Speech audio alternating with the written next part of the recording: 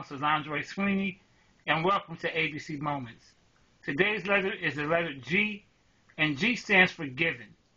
Listen, there are some things in life that are given death, taxes, and Lindsay Lohan going to jail. But things between a husband and wife, never take them for granted. Never stop to take the time to tell your spouse thank you or I appreciate you. You'd be surprised how far that goes.